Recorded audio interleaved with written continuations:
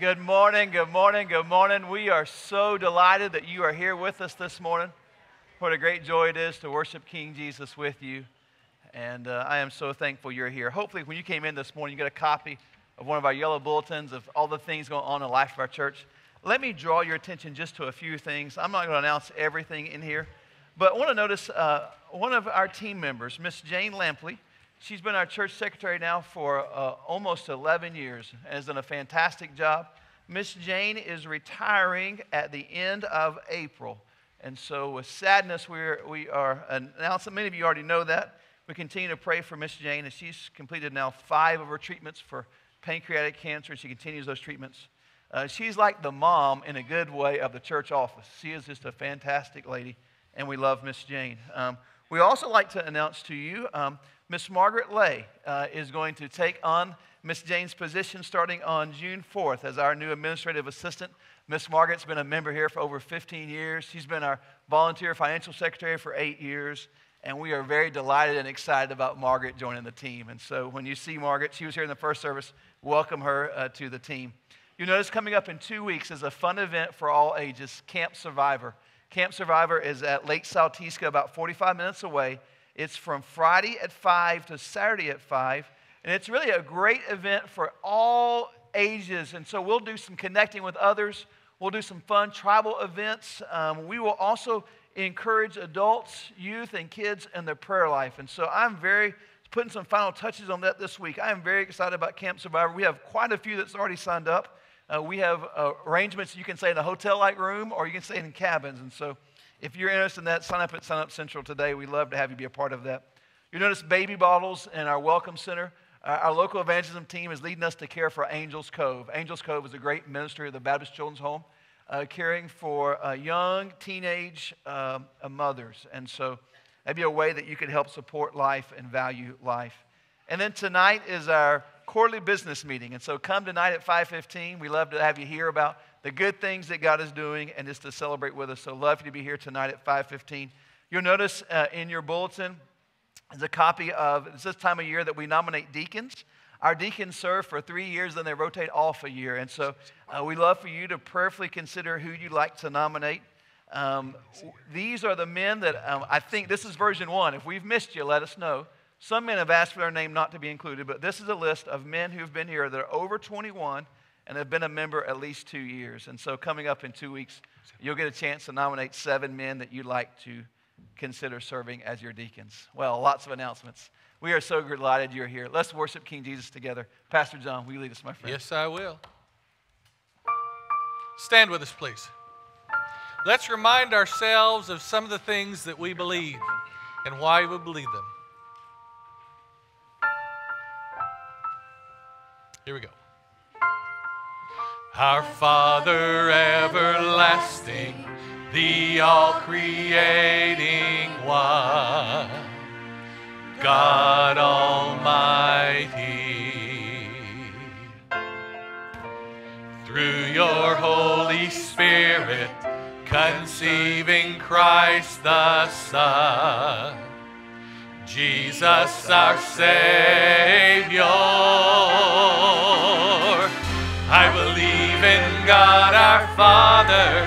I believe in Christ the Son. I believe in the Holy Spirit.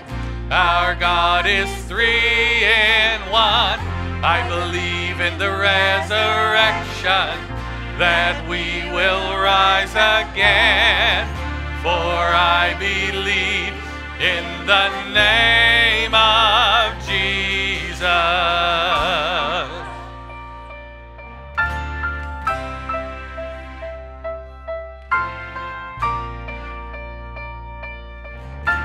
Verse 2, here we go. Our judge and our defender suffered and crucified. Forgiveness is in you.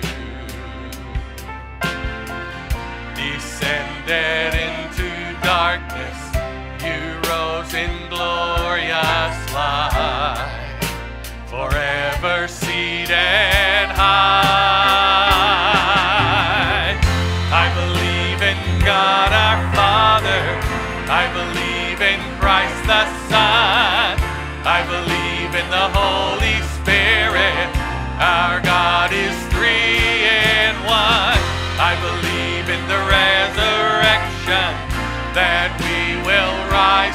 rise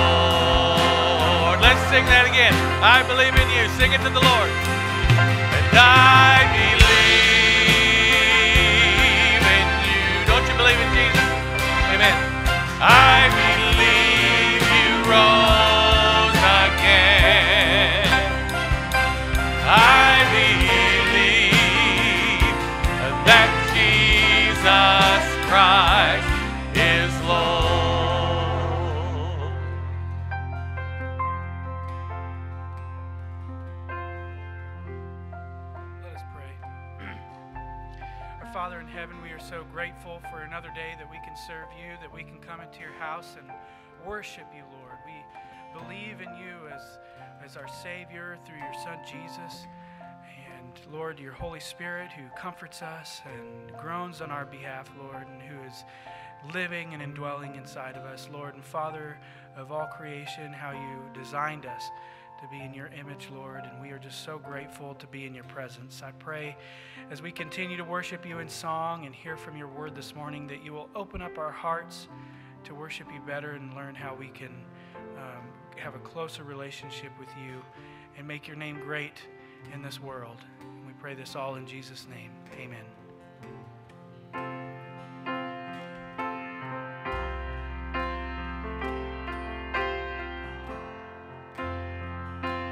we go. I believe in life eternal.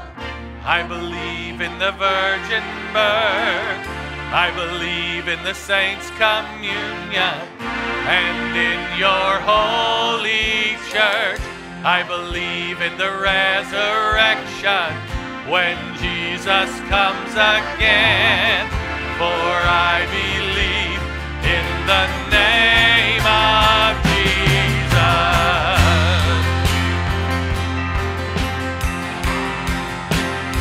Sing it big. I believe in God our Father. I believe in Christ the Son. I believe in the Holy Spirit. Our God is three in one. I believe in the resurrection that we will rise again. For I believe in the name. of- One more time. I believe in God our Father. I believe in Christ the Son. I believe in the Holy Spirit. Our God is three in one. I believe in the resurrection that we will rise again. For I believe in the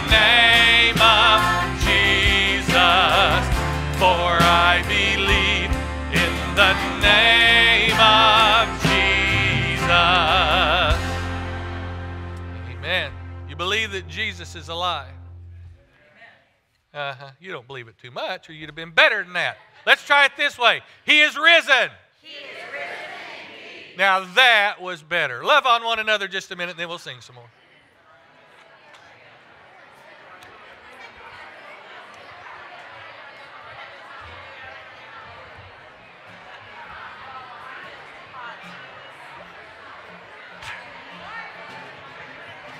Hey, dear. Look at this precious girl right here. Oh, can I take her home with me?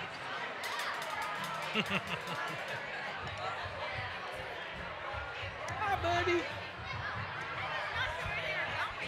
Oh, hi, sweetie. This is hug time.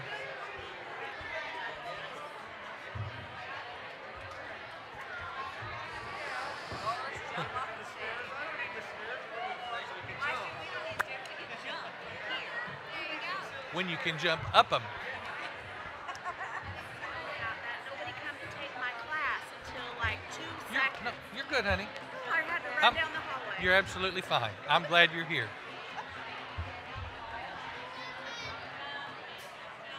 You ready to sing? Here we go. We're going to sing. Sing with us. I'm undone by the mercy of Jesus. I'm undone by the goodness of the Lord. I'm restored and made right. He got a hold of my life. I got Jesus. How could I want more? Sing it again. I'm undone by the mercy of Jesus. I'm undone by the goodness of the Lord. I'm restored and made right. He got a hold of my life. I got Jesus. How could I want more? Thank you so much. You can be seated. You know, when we come to church, every one of us brings some things with us. Sometimes we bring with us a heart that's ready to worship and adore Jesus. But sometimes we walk in that door and we've got a problem and we haven't dealt with it. And we bring that in with us. Sometimes we could come in and, and invite God to come be with us. And maybe there's a reason that He's not. I don't know. But I do know this if you've got chains on you, I know somebody that breaks chains. You listen as we sing. And Amy's going to do the solo on this.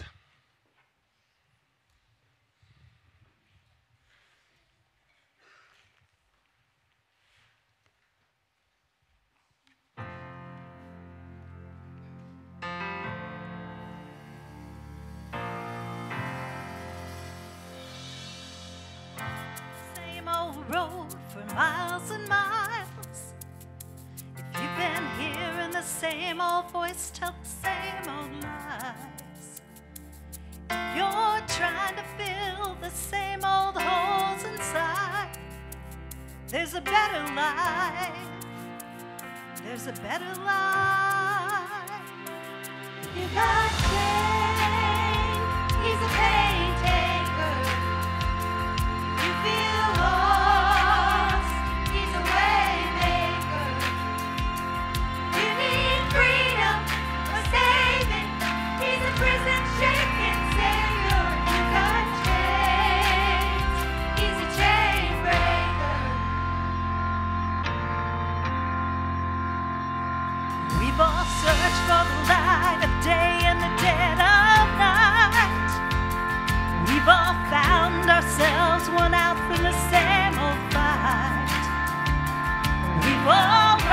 things we know just ain't right.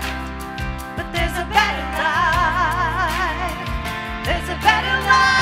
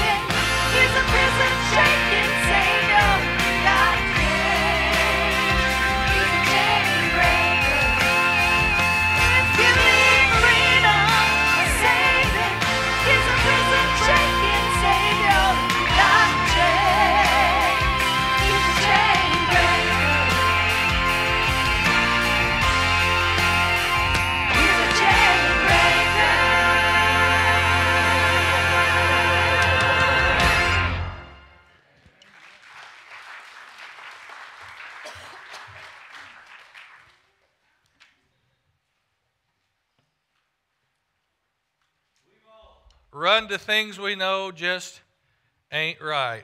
Now, that's not very good English, but that's pretty much the truth. Haven't you done that? Paul said, I'm a wretched man. The things I want to do, I don't do, and the things I don't want to do, I do.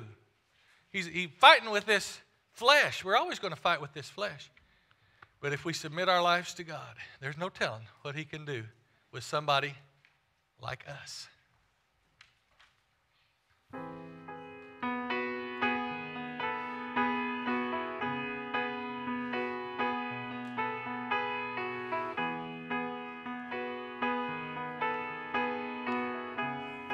Take my life. Take my life and let it be consecrated, Lord, to Thee. Take my moments and my days, let them flow in ceaseless praise. Let them flow in ceaseless praise.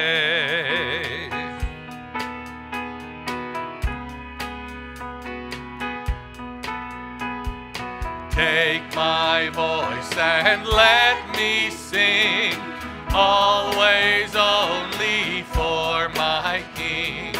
Take my lips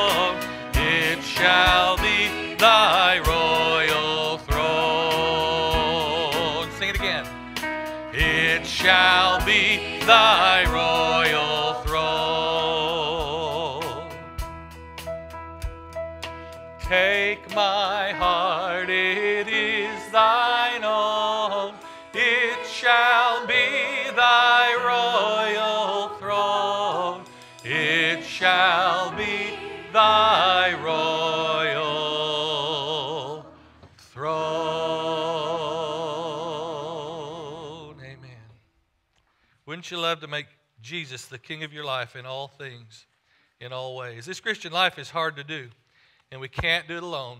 We need a defender. Will you stand as we sing?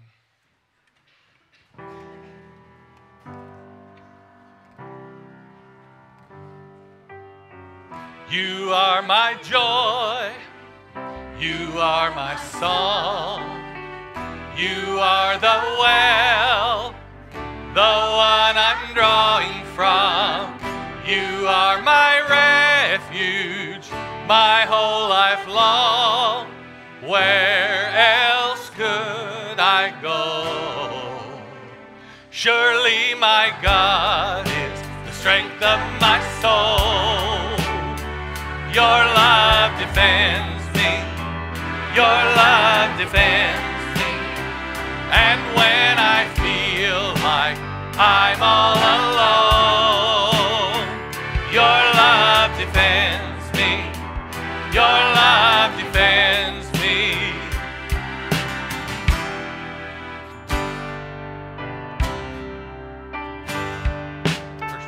Day after day, night after night. Well, I will remember you're with me in this fight. And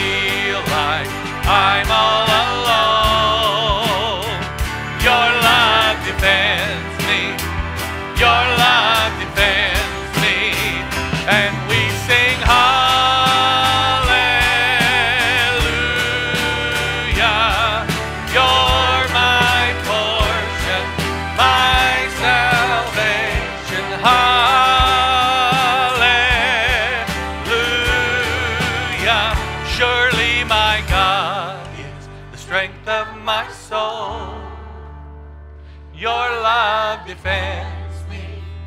Your love defends me. And when I feel like I'm all alone, your love defends me. Your love defends. Sing it again. Surely my God is the strength of my soul.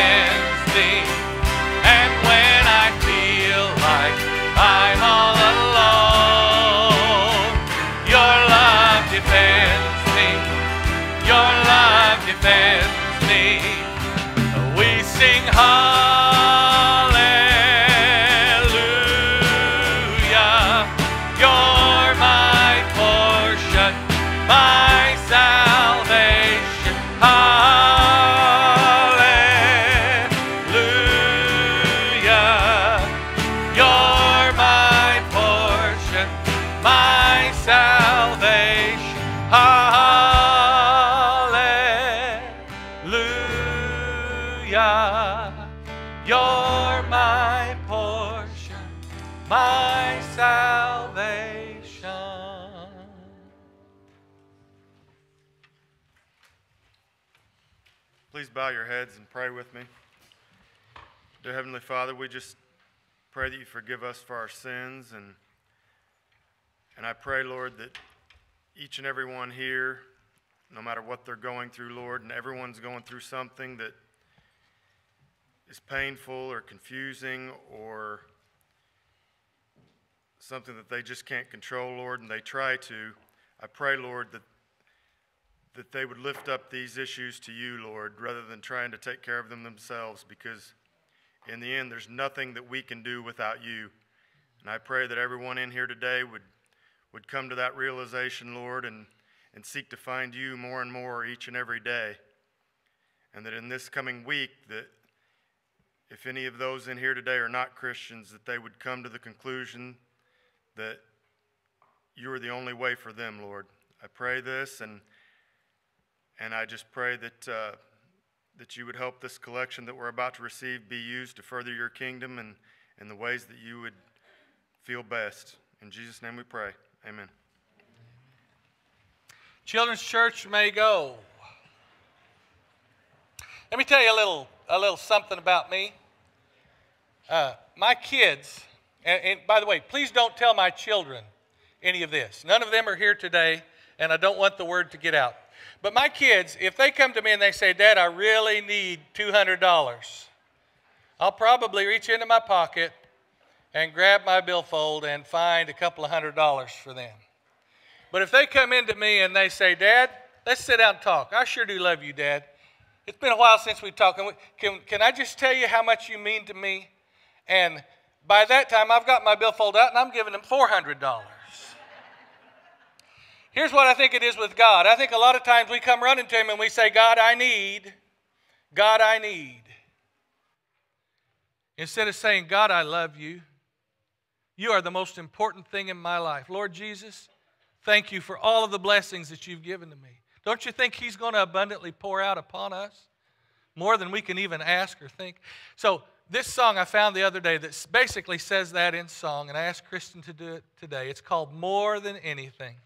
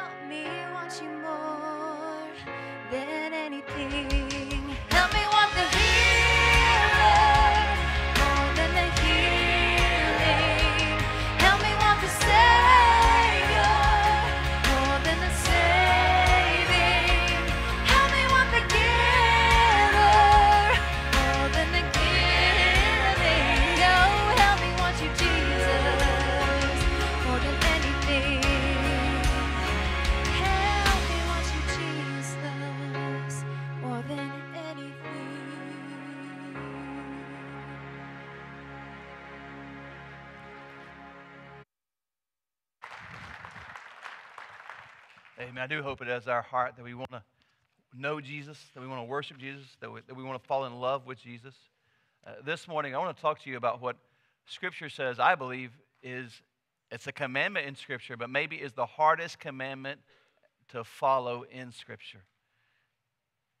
Maybe you're thinking, well, Pastor, we're talking about giving today. Well, tithing might be hard, but I don't believe that's the hardest commandment in Scripture. I really believe in tithing. When you get to a place where you just trust God, God, we are better off in, in giving back to you what you've given to us. I, I believe you'll find, Scripture says, test God in this. I believe you'll find God will, will meet as promised. God will provide for you if you'll, if you'll bless and you'll follow Him in giving. It's not about giving today. We're going to talk to you about what I believe is the hardest commandment to follow. Well, maybe you're thinking, well, we're talking about sharing the gospel today. And, and maybe sharing the gospel is hard or intimidating for you. And so that's why at Immanuel, we've been using our hand, talking about a way we can share the gospel. And I want to encourage you. I think if you have a plan of how to share the gospel and you've been praying, God, I want to share my faith, I don't believe sharing the gospel is, is the hardest thing. We've had kids that have shared the gospel this past week at school. Uh, I've heard of, of church members sharing with, co- with, with uh, coworkers this week. Um, in our Go teams and follow up from Easter, we had four people this week pray to receive Jesus Christ as their Savior and Lord. That's exciting stuff. I love how God works. And, and uh, it's not about sharing the gospel, though. I want to talk to you about what I believe is one of the literally hardest commandments Jesus has given followers of Jesus. And yet, if you desire to be a follower of Jesus, if God has saved you, uh, this is really a birthmark that God has, has given you new birth. It's an evidence that God has saved you. So I want to talk to you about that. If you have your Bibles, open with me to Luke chapter 6, verse 27. What are we talking about today, Pastor? Well, you'll find out. Luke chapter 6, verse 27. On Sunday mornings, we are looking, walking through the book of Luke, looking at pursuing Jesus. We're looking at just who is Jesus and what does King Jesus want from your life. Luke chapter 6, verse 27. God's word says this But I say to you who listen, love your enemies, do what is good to those who hate you, bless those who curse you, pray for those who mistreat you. Anyone hits you on the cheek, offer the other also. And if anyone takes away your coat, don't hold back your shirt either. Give to everyone who asks you, and from the one who takes your things, don't ask for them back. Just as you want others to do for you, do the same for them. If you love those who love you, what credit is that to you? Even sinners love those who love them. And if you do what is good to those who are good to you, what credit is that to you? Even sinners do that. And if you lend to those from whom you expect to receive, what credit is that to you? Even sinners lend to sinners to be repaid in full. But love your enemies. Do what is good and lend, expecting nothing in return. Then your reward will be great, and you will be sons of the Most High, for he is gracious to the ungrateful and evil. Be merciful, just as your Father also is merciful. Now we come to our text. This is in the middle of what the sermon we call the Sermon on the Plain. Jesus is preaching. And around Jesus, uh, there are the 12 that he has called to be disciples. There are other followers of Jesus. There are people that have traveled from afar off. There's a huge crowd that's gathered there to hear, hear Jesus preach. And Jesus is in the middle of this sermon. He kind of flips what is what I would say is the world values, the way the world looks at values. He flips those things so that, the, that we see life through kingdom eyes or life looking at the kingdom of heaven, the kingdom of God. And so he talks about the, the life that God blesses. It says earlier in this sermon, Jesus says, I bless those who depend completely on me. We talk about the life that God will not bless. He uses woes. And Jesus says God won't bless individuals in sin. God won't, God won't bless disobedience. God won't bless arrogance. And then we come to our text, what I believe is the hardest commandment that Jesus gives. He starts out his text, but I say to you who listen. Let me give you a contemporary translation of that. Jesus is saying, Hear my heart. I thought that was funnier than you did. For you who are new here, it's a phrase I, I often use to say, Hey, listen up here. This is important. Jesus is saying, as he comes to text, listen up, hear my heart. This is important here. What is Jesus saying? What is Jesus wanting us to do? Jesus is saying, uh, let live love be your lifestyle. The whole text is about loving others and about this idea of, of letting, letting that we should love other individuals very passionately. We talk about Immanuel that, that we exist wanting to live love. We want to live love to God, live love to others, live love to the nations. But this idea of live love did not start from a church or from a pastor. This is what Jesus teaches us. Live love is what Jesus teaches, is what Jesus does, is what Jesus expects from believers. And look what he says, um, verse 27. Jesus literally says this command Jesus commands us to love our enemies. The very first command we have in the, in the Gospel of Luke. So now we're now in the sixth chapter, we get to the first command. And the first command, we actually are 13 commands now in our text, uh, three rhetorical questions and 13 commands. But the very first command in the gospel is this love your enemies. It's, it doesn't say love your family, it doesn't say love church members when they're nice to you. This says love your enemies. Can I admit to you, I struggle with this one? This is hard. Love people when they insult you. Love people when they gossip about you behind your back. Love people when they say mean things to your kids. Love that bully. Love that ex husband. Love that ex wife. Love that mean coworker. Love that overly critical boss. Love that girlfriend who's insulted you.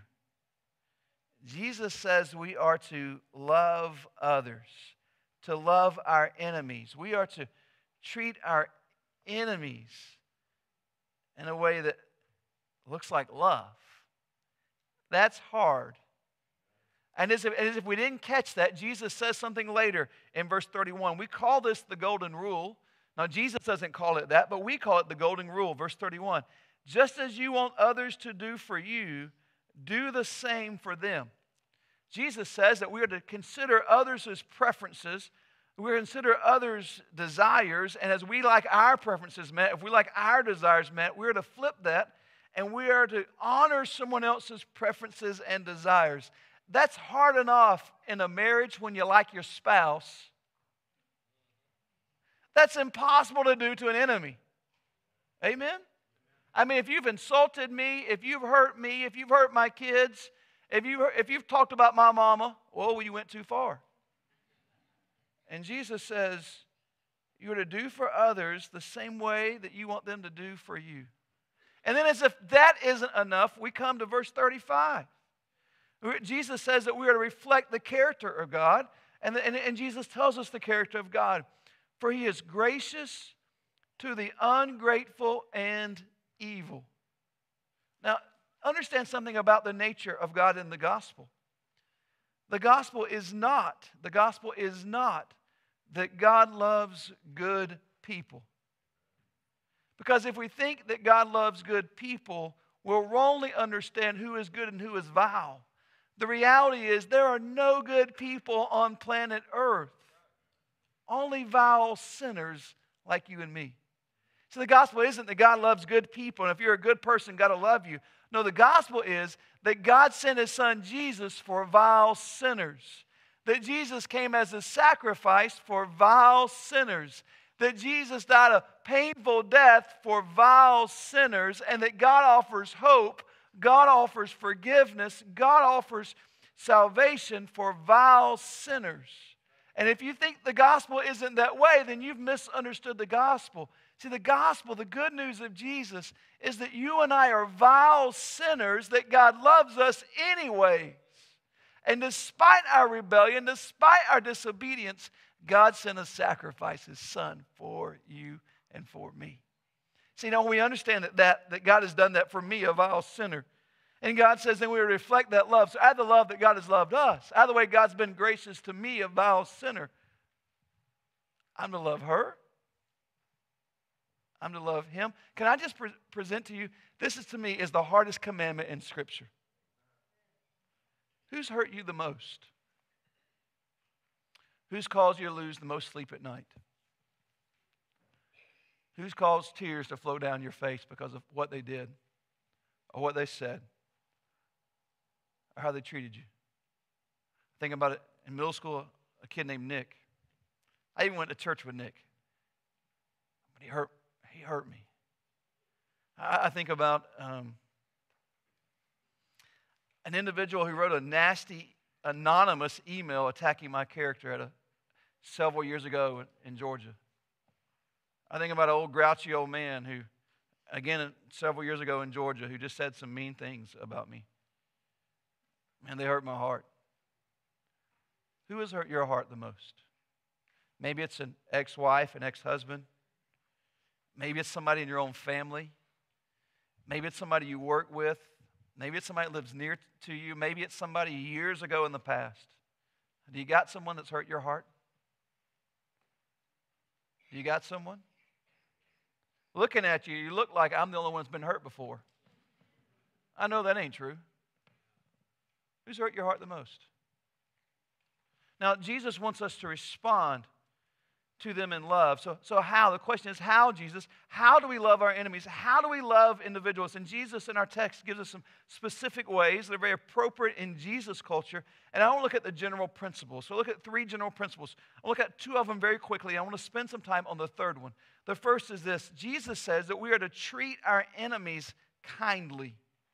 Look with me, verse 27. Love your enemies, do what is good to those who hate you. Jesus says that we are to do good. And as, as if, we didn't, if we didn't catch that, he repeats himself later in verse 35. But love your enemies, do what is good. When Jesus talks about doing good, there's an active way of expressing love that he has in mind here. It's not of just saying, I love you, sister. I wish, wish you would die. God bless your heart. No, Jesus is talking about tangible actions of expressing love to someone else. It is, it is, it is been doing tangible kindness to others. You know, I'm afraid we live in a world that misunderstands what love is. We wrongly think that love is a feeling or an emotion, such that people say, Well, I no longer love my, my wife anymore. I no longer love my husband anymore. So if I don't have that feeling or emotion, I guess I can just get out of this relationship. And yet, that's not what love is at all. Feelings and emotions come and go. Love is a decision, love is a choice. Now, hold with me, church. Jesus does not command us to feel a certain way toward our enemies, but he does command us to act a certain way toward our enemies. Now, hear that. Jesus does not command us to feel a certain way to someone who insults us, someone when they hurt our hearts, but Jesus does command us to act a certain way to someone who hurts us. What is the action that Jesus tells us to do? We're to be kind. See, Christianity is different than Islam. Islam, in the book of the Quran, it gives Muslims right to, to those that are that oppose Islam, that oppose Muslim. They can, they can hurt with force against individuals that, that persecute Muslims. That's not what Jesus tells us to do. Jesus says when you're persecuted, when you're insulted, you're to treat with kindness. You are to do good. Now, where it's appropriate, where it is safe, where it is reasonable, God wants us to consider the preferences of those who hurts us over our, our very own. And in doing so, we demonstrate the power of the gospel and the power of King Jesus. How do you respond to those who hurt you? Well, you treat kindly. Jesus doesn't command us a certain way to feel, but he does command us a certain way to act. Secondly, you still with me, church?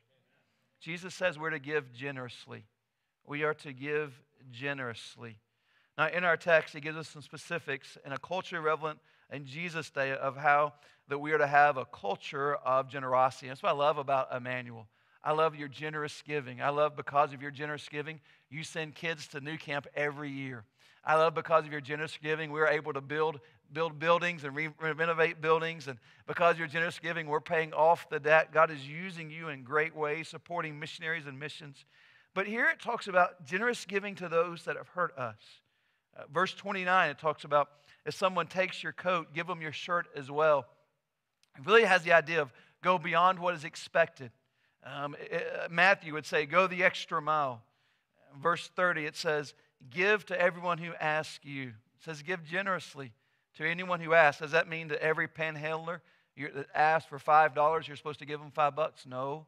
I think 1 Thessalonians 5, it talks about we don't reward laziness or irresponsibility or slothfulness, but where there is a genuine need and we can meet that need, we are to give generously.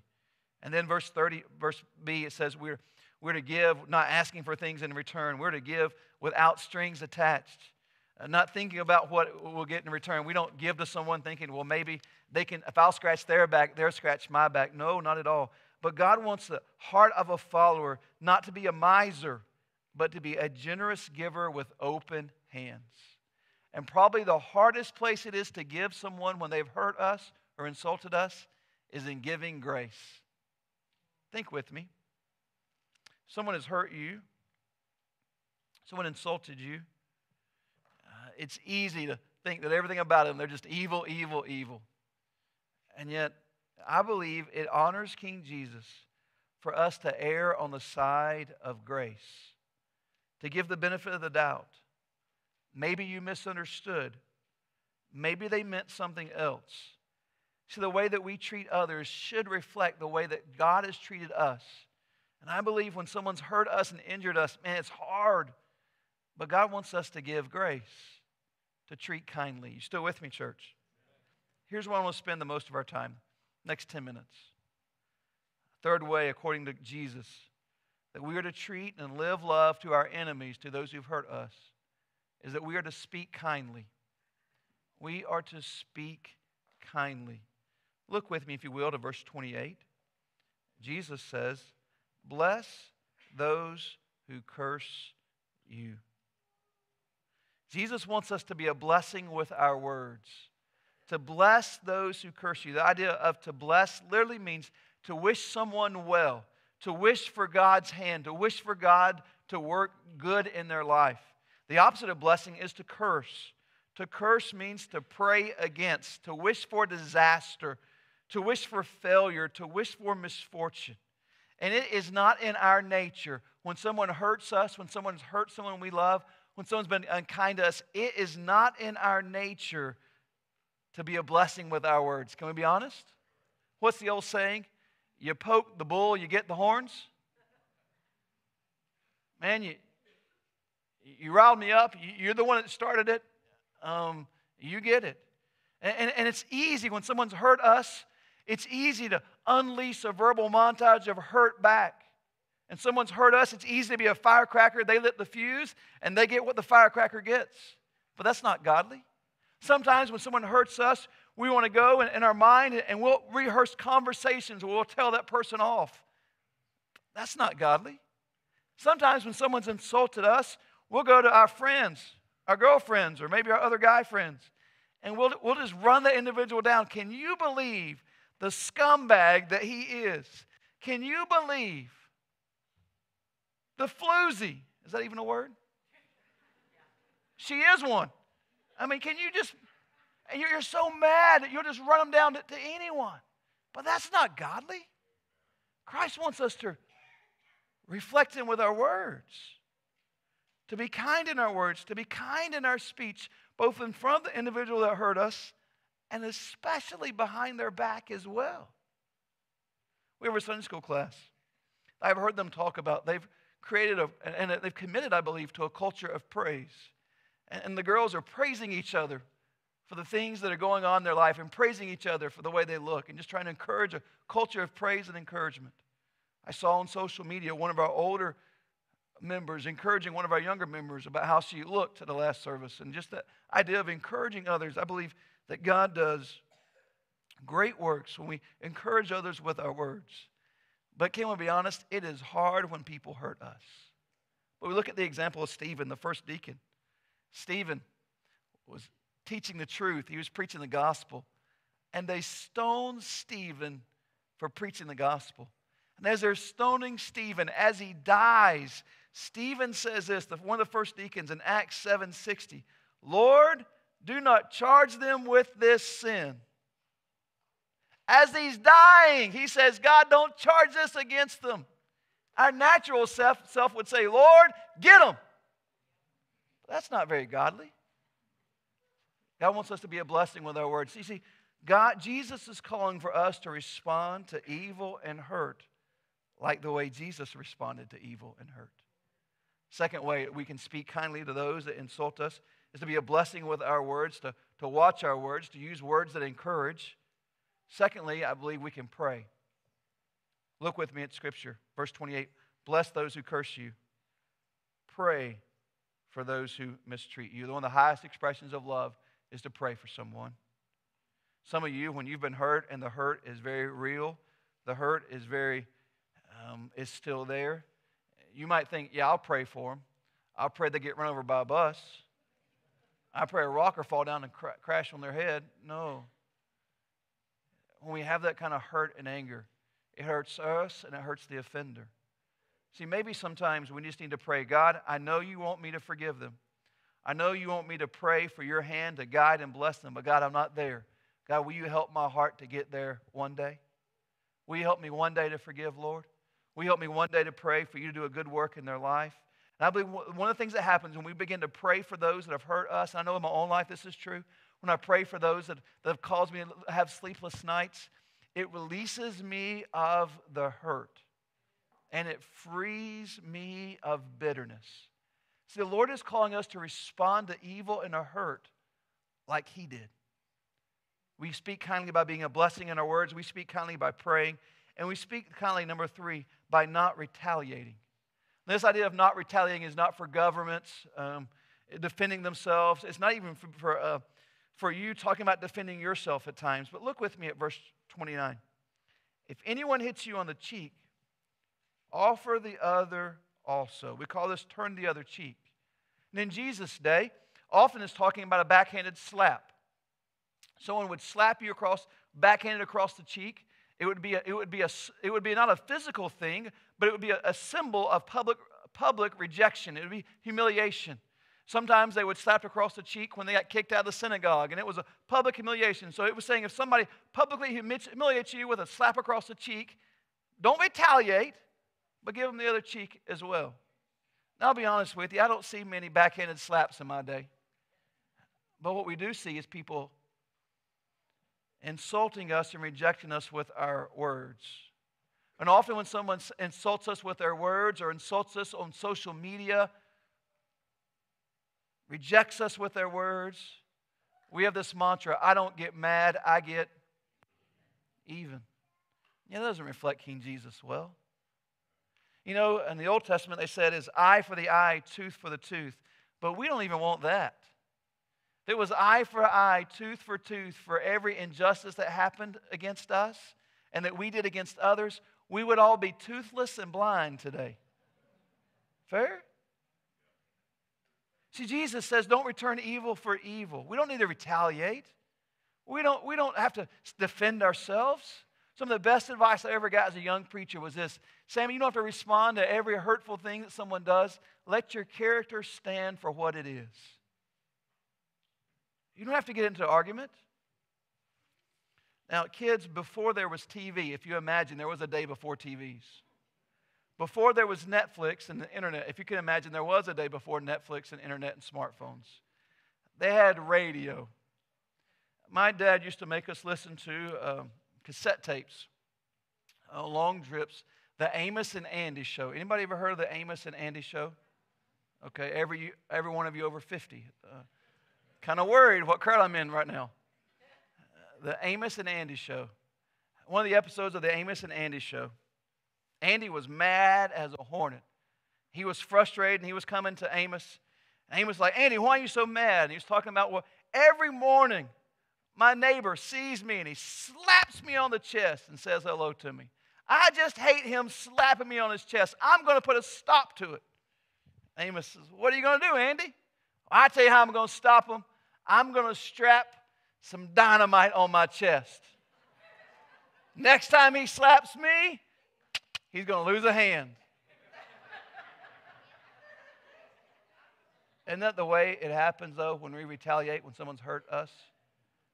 Not only does it hurt them, but it hurts us too. See, Jesus is calling us not to respond with evil with evil. But we would say, but, but I have rights, but I need to defend myself. And yet, our testimony is more important than our rights. Jesus is calling us to respond to evil and hurt like he did. And he has three different rhetorical questions. Look with me. The first one's found in verse 32. If you love those who love you, what credit is that to you? Even sinners love those who love them. That word credit is the same root word we get grace. If you love those who love you, how does that demonstrate grace? How does it demonstrate the gospel? Even sinners do that. The second rhetorical question we find is in verse 33. If you do good to those who do good to you, what credit, what grace is that? Even sinners do that. The third one is found in, in verse 34. And if you lend to those expecting to get something in return, what grace is in that? How does that reflect the gospel? Even sinners do that. See, what Jesus is calling and asking us to do is to go beyond what a moral unbeliever would do. Jesus is saying that there ought to be something different in the way that Christians respond to hurt and evil and injustice. We're, we're not like the moral, our moral, unbelieving neighbor. We're different because of the power of the gospel in us. Chip Ingram tells a story. As he played college basketball, he tells a story about a college basketball teammate that was just, man, he was just evil to Chip. Um, his teammate uh, was older, older than the rest of the team. He had, he had been in, in Vietnam. He had, he had, he had uh, been in jail for his drug addiction. And he had hazed Chip. I mean, he had been mean and hateful. He, he had a way of elongating Chip's name to make his name sound like a cuss word. And yet, as, um,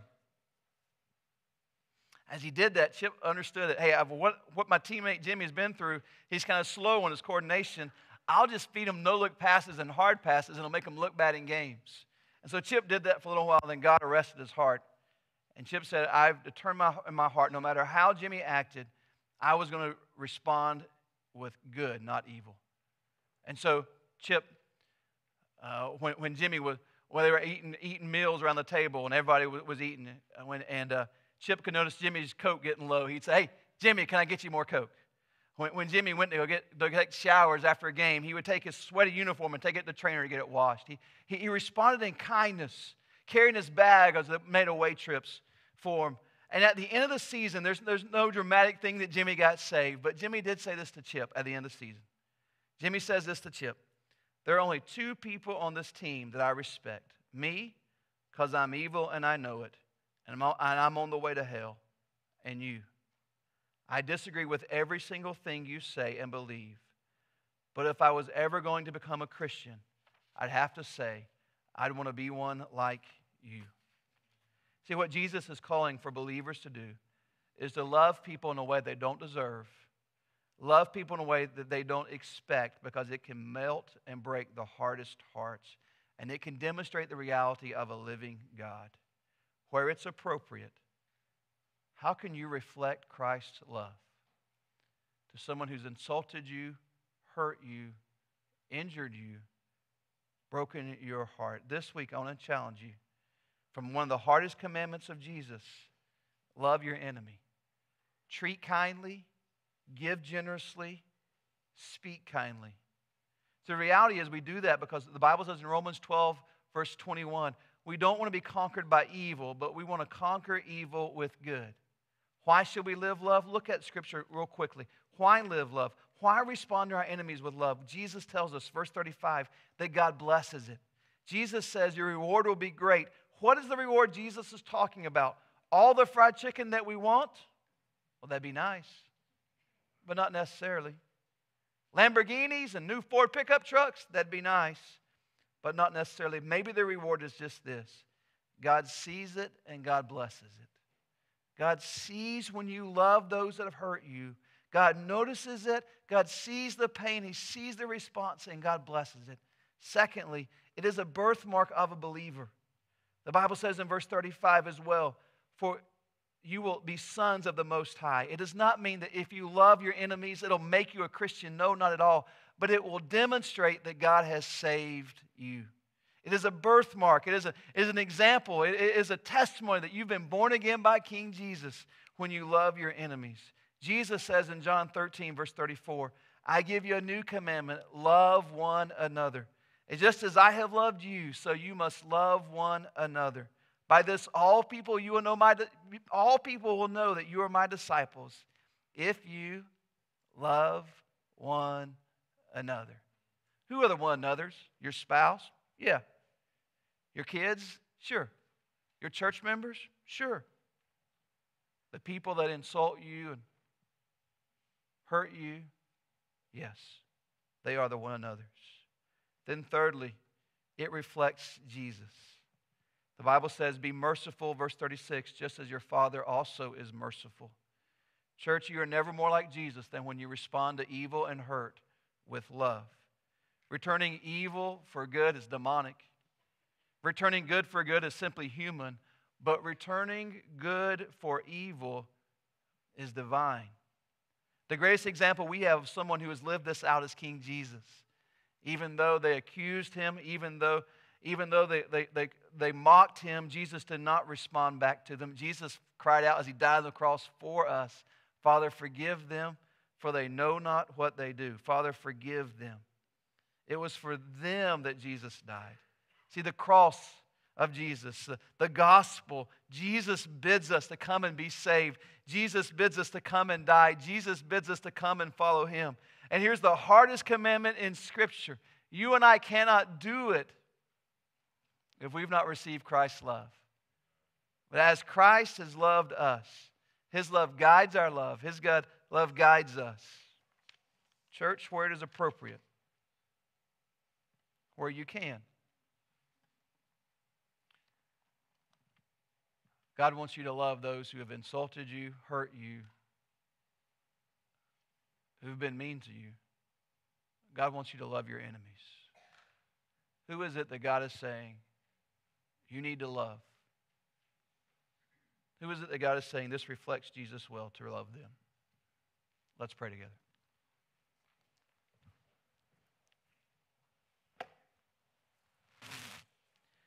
Heavenly Father, God, I thank you, Lord, that how your word can speak and minister, Lord, and illuminate our hearts. Jesus, I'm so thankful for your love. I'm so thankful for the gospel that you love vile sinners, Father, that you want to save vile sinners. And Jesus, maybe there's someone in this room, Lord, that's never experienced your love and salvation and forgiveness. They don't know the hope that you have for them. Friend, maybe that's you here today. Maybe you know that you need to be saved, that you need Christ to forgive you. You need Christ to be your boss to save you. If so, in the quietness of the room, you can ask Christ to save you right here, right now. now there's no magic words to pray, but it's a reflection of your heart. In your heart, just cry out to the Lord, Lord, forgive me of my sins. Lord, thank you for dying on the cross. Thank you for rising from the grave. Be my boss, be my Savior, save me. The Bible says by faith, Christ will save you. Maybe you're here today and Christ is someone in your life that's hurt you. That Christ is saying, I want you to love them. We ask, the Lord, to help you to show love there. Maybe the hurt is so raw you can't do it today, but maybe you want to say, God, will you help me get to the point where I can love them anyways?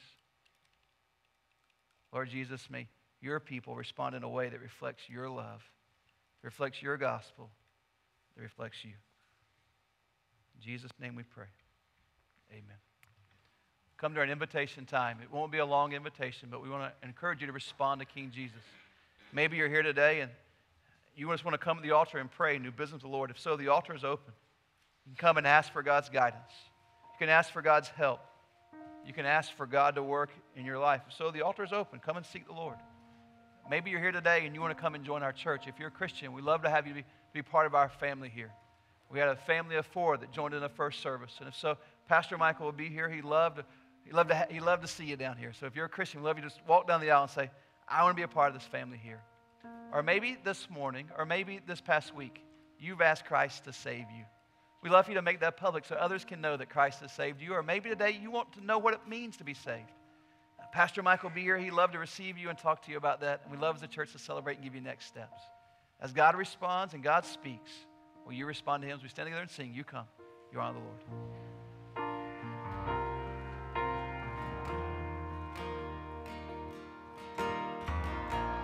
We all start on the outside, the outside looking in. This is where grace begins. We were hungry, we were thirsty, with nothing left to give. Oh, the shape that we were in.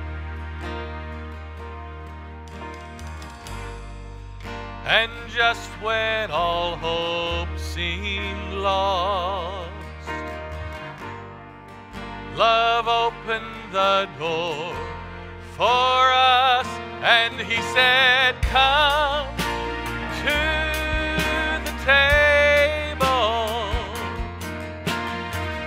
Come join the sinners who have been redeemed. Take your place beside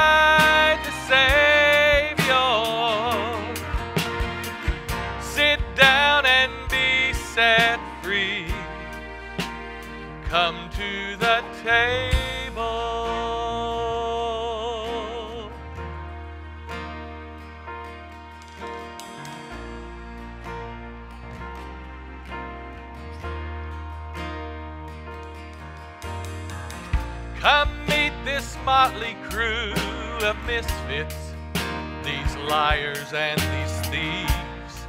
There's no one at welcome here. So that sin and shame that you brought with you, you can leave it at the door and let mercy draw you near. Just come.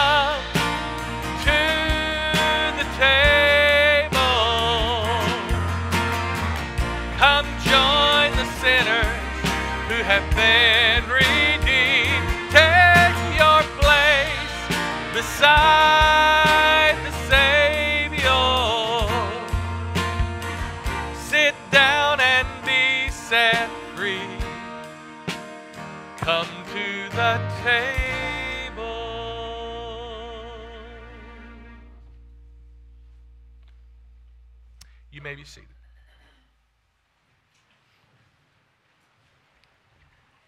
always with great joy that we're able to have a baptism service. Uh, before we baptize, though, I want to talk about what this is and what it isn't. Uh, baptism doesn't save anyone, it is King Jesus and Jesus alone that saves us. And so, what baptism is, is that publicly letting other people know that Jesus has saved them. And it's really a representation of what Jesus has done. Is Jesus has died on the cross and risen from the grave. This individual, when they get baptized, they're saying, God, I'm, I'm dead to the old way of life, and I'm rising to live for King Jesus, and I want Jesus just to lead me in my life. Baptism is a great picture of, what, of salvation, and it represents, it's like the, let the world know that Christ has saved. And so we're excited about both these baptisms. Uh, Corey, come and join me. Uh, This is Corey. Uh, I got a chance to know Corey when a church member invited him to come by, and we chatted in my office several, several months ago. Uh, and several months ago, um, as God began just to work and change in Corey's life, Corey prayed and asked Christ to come into his life and save him. And uh, I can, I can just, if you just knowing Corey, I can already see a change that Jesus has done in your life. And Corey, I'm very proud of today, and I'm proud of the steps you are following to pursue Jesus. And he's asked for Cheryl Valeroy to come and pray for him. So, Miss Cheryl, will you make your way?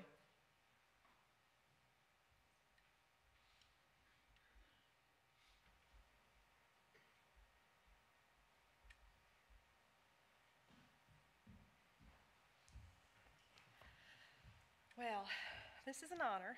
Um, but this is about Corey and about Jesus. So let's pray. Father, I give you the glory and praise and honor for everything you've done, not only in Corey's life, but every single one of us here today. Father, I pray as Corey goes under today in that water, when he rises up, he'll have a new vision of you. I pray, Father, that you'll lead and direct him, bring him every step, every day. Let him understand your saving grace is a 24 7, forever kind of thing. Just as we all need to remember, it's 24 7, every day, forever. Father, we thank you and we praise you. And may your blessing be upon Corey every moment and every day of the rest of his life. I thank you for him. In Jesus' name I pray. Amen.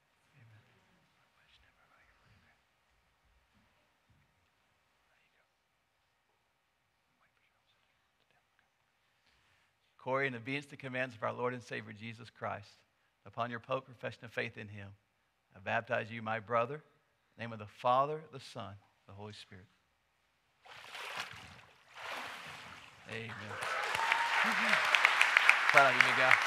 Awesome.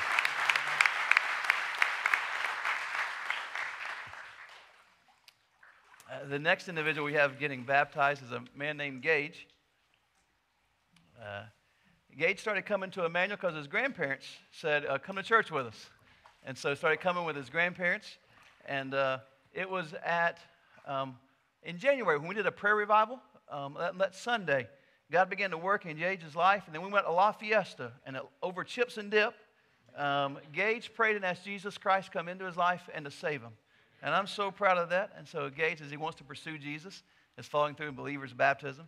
And he has asked for Grandpa Mike to pray for him. So, um, Mr. Mike, will you come on?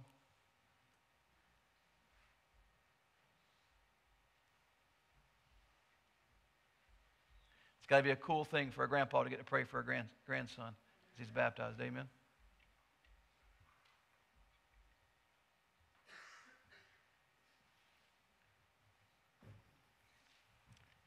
Boy, this certainly is a wonderful, wonderful day for our family. I'm glad to see so many of them here today. the decision Gage made back a couple of mo- uh, months ago. The only thing I can say is don't ever believe that Christ and God doesn't answer prayers.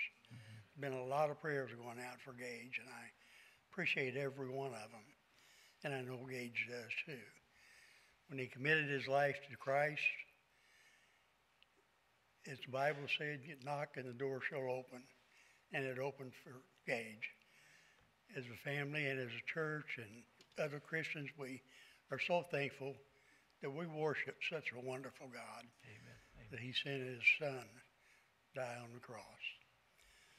Gage, we're very, very proud of you, and we look forward to the future with Christ.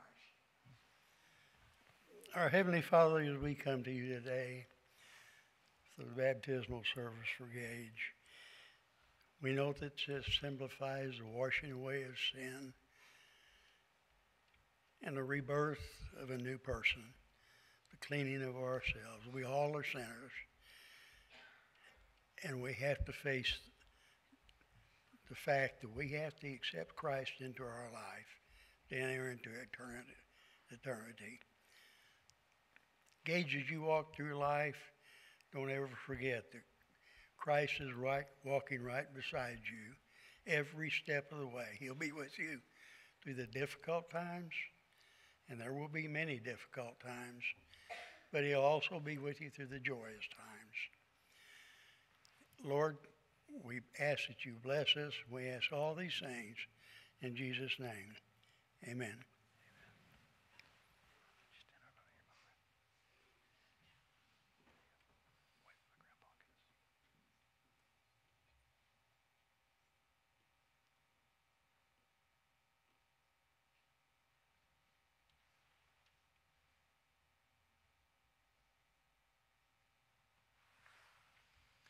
Engage in obedience to the commands of our Lord and Savior Jesus Christ. Upon your profession of faith in him, I baptize you, my brother, in the name of the Father, the Son, and the Holy Spirit. Woohoo! Ah, proud of you, my friend. Awesome, awesome. Man, I love it watching people uh, pursue King Jesus and obey him with those next steps. Amen, church? Uh, we got to sing for this. So let's stand together. This will be our closing of our service. John, let's sing, my friend. Let's go. One, two, three.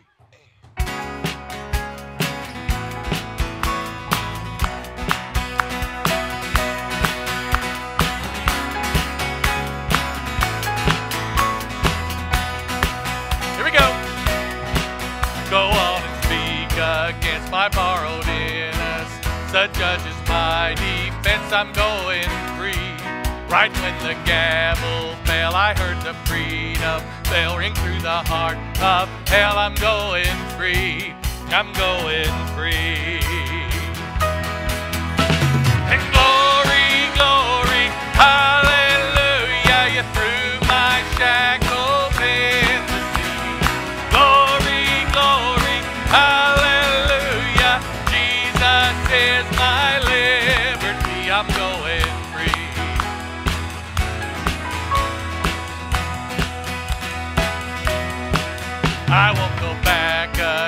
That's just not who I.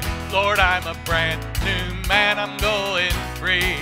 I'm on a narrow road, it's paved with grace and hope. It's gonna lead me home, I'm going free. I'm going free. Yeah, that's good,